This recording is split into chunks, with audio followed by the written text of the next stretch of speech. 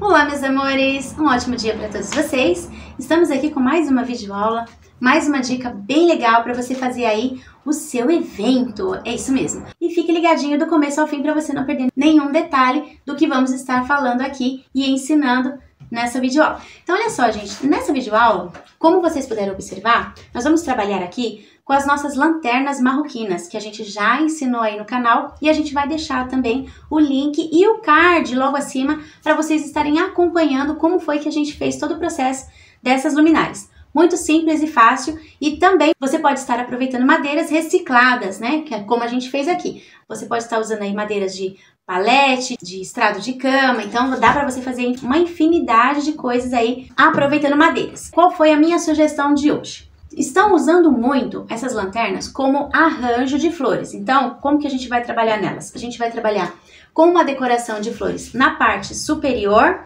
e outra na parte da lateral.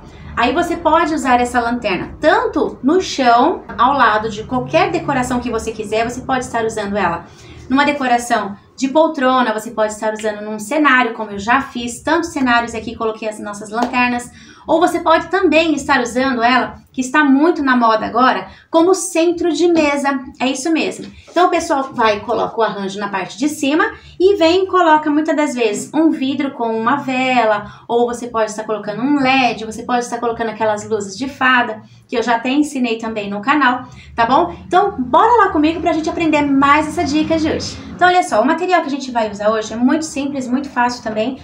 Vou dar aqui a sugestão para você estar trabalhando com a esponja floral ou também com a baguete. De repente você não tem um material, você tem o outro, você pode estar usando, tá bom?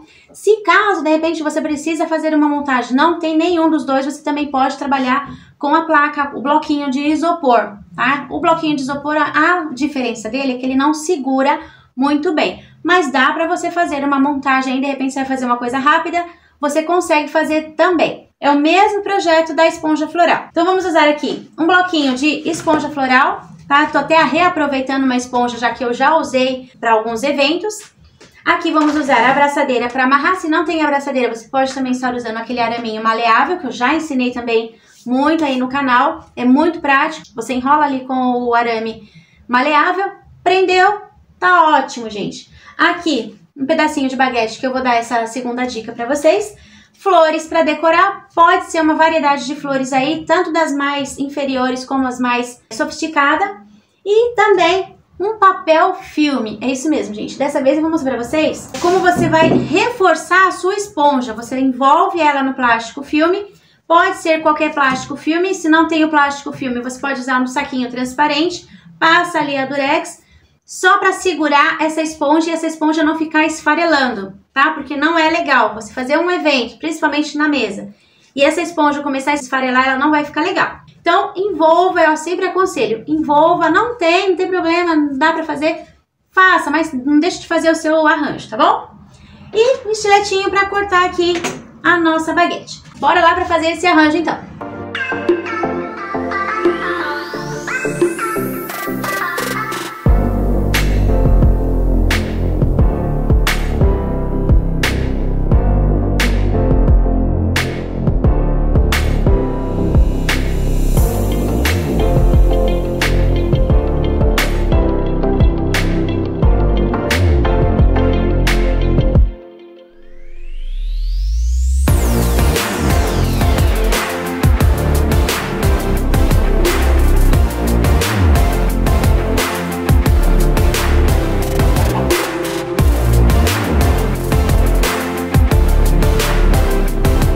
E olha só como o nosso arranjo já ficou.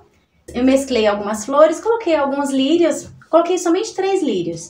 Como vocês sabem, eu já falei aí nas videoaulas que eu amo lírio, né? Então, olha só como que ele ficou. Coloquei aqui algumas folhagens pendentes, só para dar um charme.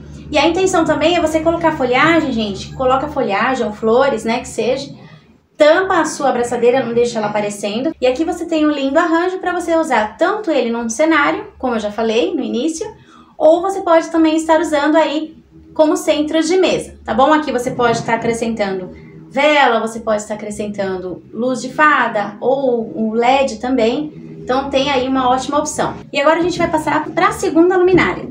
A segunda luminária já é um projeto na lateral Então fica muito legal, já usei esse projeto nas decorações e fica muito lindo, tá bom? Então, do mesmo jeito que a gente fez aqui com a esponja floral, a gente vai fazer aqui com a nossa baguete. Para você que já me acompanha, sabe que eu gosto muito de prender as baguetes, tanto na parte de cima dos painéis, como também assim, nesses projetos para fazer tanto chão como mesa também, tá? Então, bora lá!